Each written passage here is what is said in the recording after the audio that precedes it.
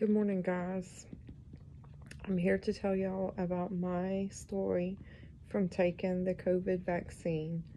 I took the Pfizer vaccine lot HW0 or HWO142 on February the 5th. Since I took that vaccine, it has completely changed my life. I um before the vaccine, I was a completely normal, healthy 45 year old. I went to work every day. I played with my grandchildren. I worked out. I had a very good life. Um, I took the vaccine on Tuesday, and this is my story. Wednesday, I came home from work where I'm, I manage a surgery center. Very tired. I um, I went to bed and I slept all night. It was roughly about 15 hours that I slept. I got up on Thursday morning, very dizzy, not sure what was going on, but I took some Tylenol and I gathered myself together and I went on to work.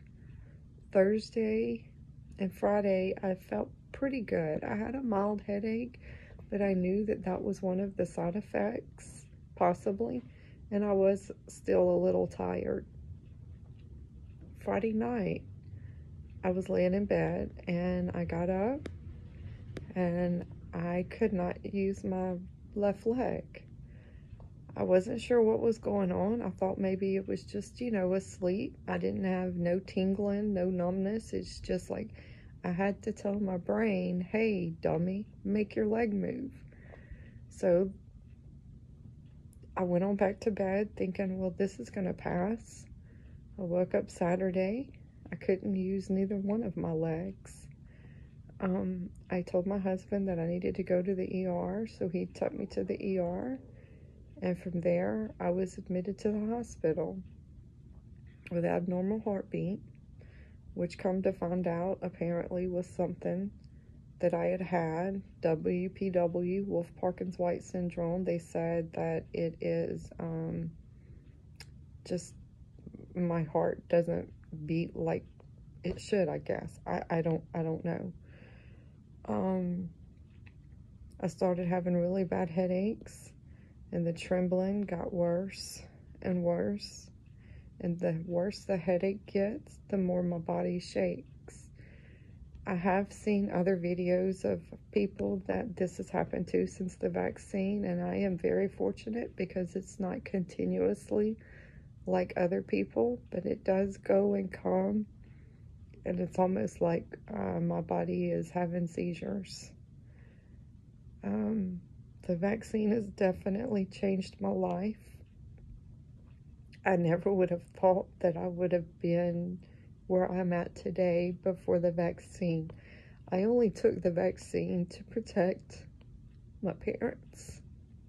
My mom is not in good health. And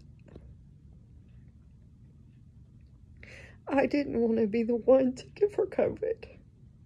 So here we are. Five days later.